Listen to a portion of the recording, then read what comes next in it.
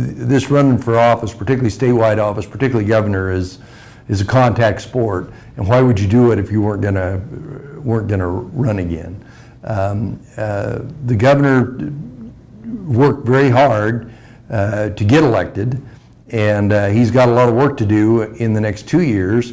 And he's acting and governing like he's going to run again because you know a lot of the decisions you make um, are long term. They're, they're, you start proposals that take more than one or two or three years to implement. Uh, he's acting like he's in it for the long run.